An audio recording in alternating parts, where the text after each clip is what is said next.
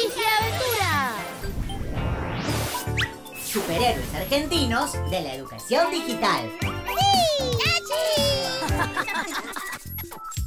Hola, hola, yo soy Pepe y hoy vamos a aprender sobre tecnología. ¿Les pasó alguna vez que la computadora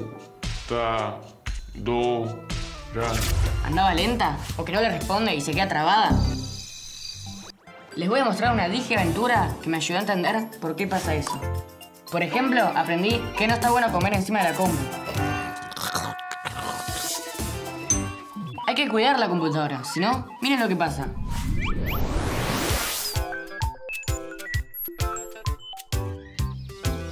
Estaba escuchando una lista de videos que me gustan para compartir.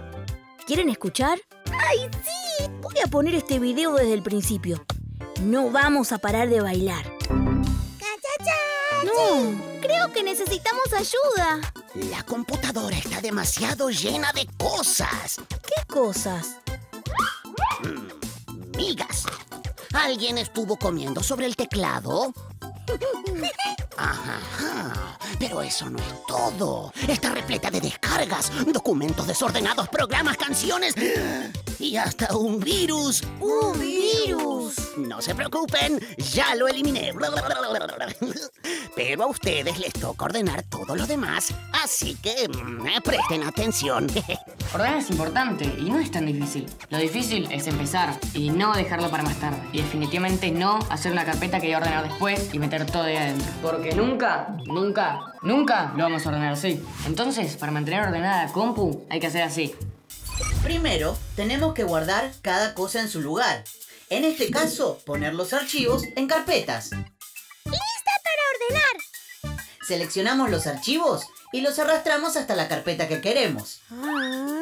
Después hay que eliminar los archivos muy pesados que no necesitemos más. Hacemos clic derecho con el mouse y seleccionamos eliminar.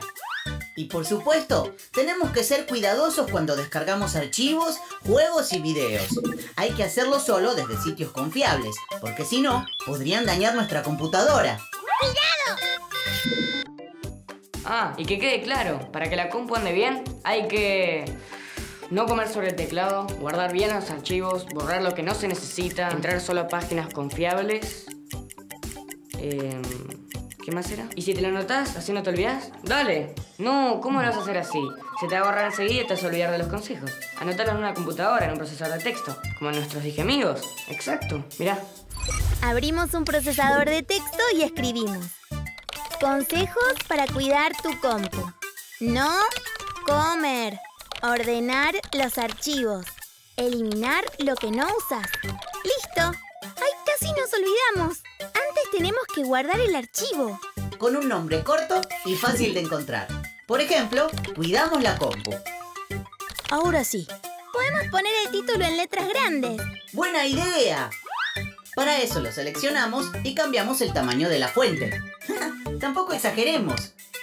Y podemos ponerlo en negrita. Quedó buenísimo. Ahora tenemos que organizar los consejos. Ponemos punto aparte después de cada frase. Después la seleccionamos y utilizamos la herramienta viñetas. ¡Lo logramos! Ahora sí.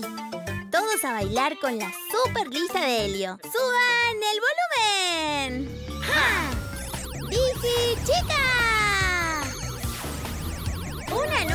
de los Digihéroes a todos los chicos de Argentina. Ah, queda muy bien, ¿viste? Y todavía no vemos todas las posibilidades que ofrece un procesador de texto. A ver. Podemos agregarle imágenes al documento que hicimos.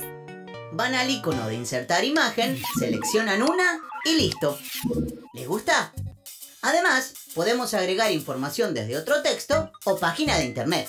Si seleccionamos el texto y hacemos clic con el botón derecho, podemos elegir la opción copiar y pegarlo en nuestro documento. Recordemos siempre mencionar la fuente, o sea, la página desde la que sacamos la información. Solo queda guardar los cambios que hicimos en el documento. Si queremos generar una nueva versión del documento y no borrar o sobreescribir la anterior, seleccionamos Guardar como y escribimos el nombre del archivo nuevo. Así guardamos las dos versiones. Perfecto, todo anotado. Y hasta le pueden poner una foto. Si seguimos estos pasos, nuestras compus van a andar bien, rápido y sin problemas. Espero que les haya gustado. No se pierdan los próximos videos de Digi Aventura. Hasta la próxima.